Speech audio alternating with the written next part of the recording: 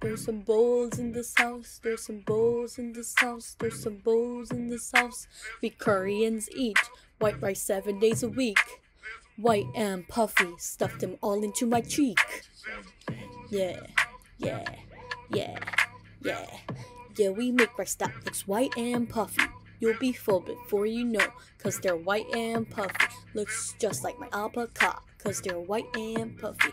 Add some kimchi, diversify, wrapping gim, you'll hear a hymn. Change it up into bibimbap, healthy steaming, rice just for pop, spam on top. I wanna ride, I'm gonna savor while it's inside. Top Friday, mix it divine, balance your diet, and you'll be just fine. Spice it up with gochujang, what a day, even got doenjang. I want you to dip that big white spoon right in this leftover soup. Make it gleam, make me scream, out for dinner, make me beam. I don't cook, I don't clean, but I got cooking to do it for me. White rice, purple rice, heat till it looks nice. Watch out, for they're a little hungry mice right there in the corner. First one, their owners, give them to donors. Remember their owners.